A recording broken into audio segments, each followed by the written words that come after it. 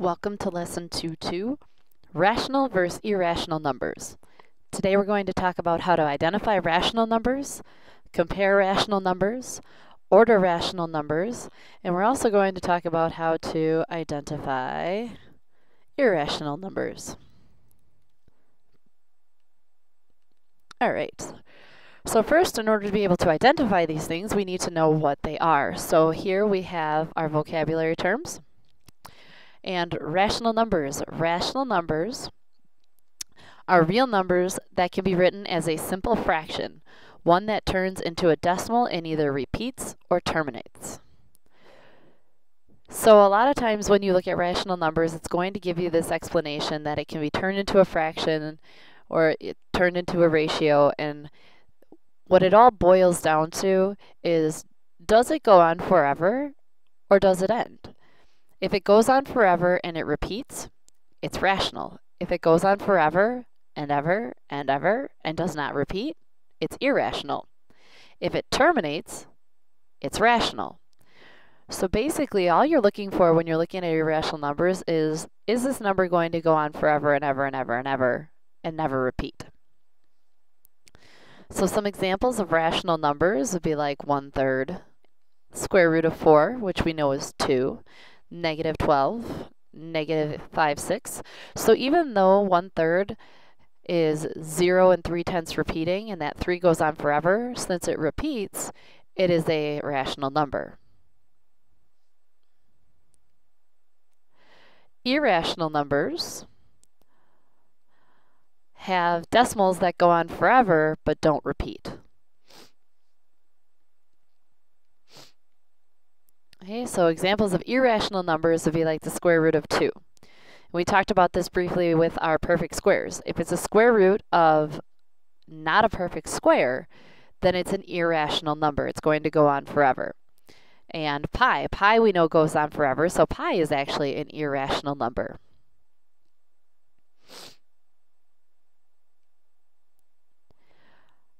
All right, so there is a video on rational and irrational numbers from BrainPop that I would encourage you guys to go and watch. And it gives you the definitions and talks about what an irrational and a rational number are. So when you have the time, go to BrainPop and type in rational and irrational numbers, and this is a good resource for you to help you differentiate between the two. For now, though, we are going to classify our numbers as rational or irrational just based on the definitions that we have. So we have 10. 10 has no decimal. So it's a whole number, so it terminates, so it's a rational number.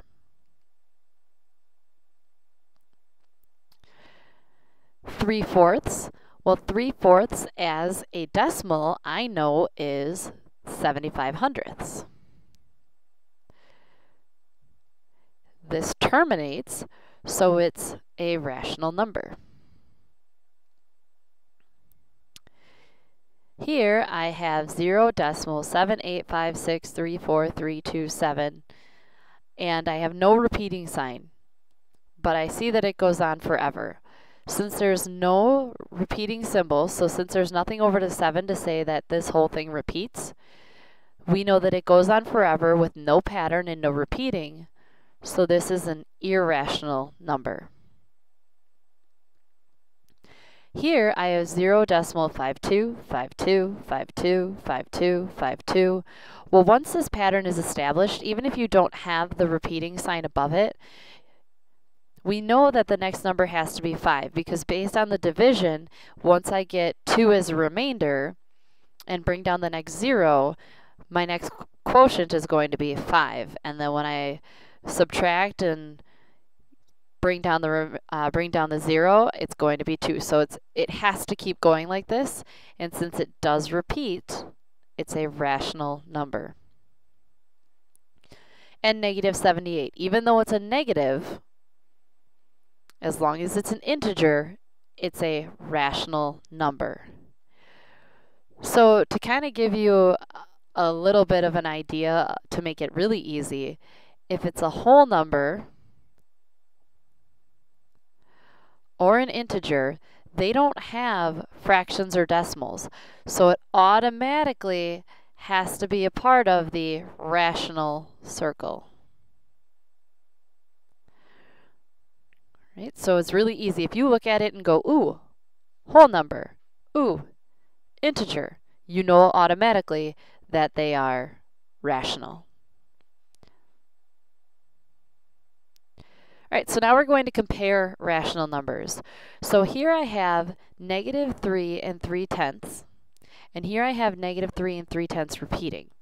So I have to think, when I have a negative number, the further away it gets from 0, the smaller it is.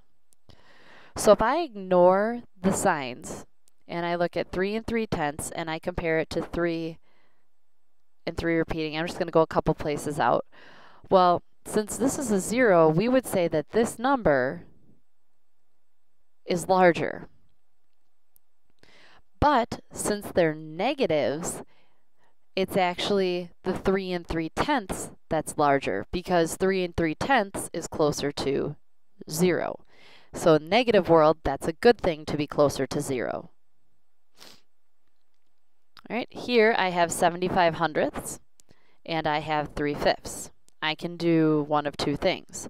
I can change this to a fraction, but as a fraction, it becomes 3 fourths, which for some of us might not be that helpful considering the fact that this is 3 fifths. I'm going to do it that way, and I'm going to turn this into a decimal just so you get some experience with both. So 3 fourths. This is bigger than half, and it's bigger than half by quite a bit. And we know that the bigger the denominator, the smaller the piece. So the bigger the denominator, the smaller the pieces are. Like we said with our pizza, as you keep cutting it into more and more pieces, the pieces get smaller and smaller and smaller. So here, 4 is, small, is smaller than 5, so 4 has the bigger pieces. So what's going to be bigger? Having three larger pieces or having three smaller pieces? In this case, we know that 3 fourths, or 75 hundredths, I'm sorry, is going to be larger because 3 fourths is larger than 3 fifths. The other way that we can do this is we can turn it into a decimal which I know that I multiply both of them by 2, and this gives me 6 tenths, and 6 tenths is definitely smaller than 75 hundredths. Alright, so moving down here, I have 0 and 45 hundredths repeating, and I have 4 and a half. Well, this is 0, and this has an actual whole group in it. It's 4 and a half. So I know the 4 and a half has to be larger. Don't forget to look at those simple pieces that help us out. Here, I know that 5 over 1 is actually 5. And 5, well, pretty much anywhere, 5 is equal to 5. Again, the hardest ones are going to be your negatives because it's such a weird thing to wrap your mind around. The further away it is from 0, the smaller it is. Because for so often and for so long, we've been been told the further away from zero, the bigger it is. But remember, with negatives, you're in opposite world and things are not always what they seem. All right, so you're going to go ahead and try, and you're going to identify these numbers as rational, irrational, whole numbers, or integers. Now, each of them can be part of the same category. So, like we said before, all whole numbers and integers are also rational numbers. So if you have an integer, you know that it also should be rational. And it might also be a whole number. So you're giving me all the categories that it could be in. So I'm just going to put here list all categories. And you can use the short here. Now remember, it's IR for irrational and I for integer. Then what you're going to do is you're going to list the inequality symbol that makes this sentence true. So the square root of 16 and negative 5. Remember your inequality symbols? Less than, greater than, less than or equal to, greater than or equal to, or equals.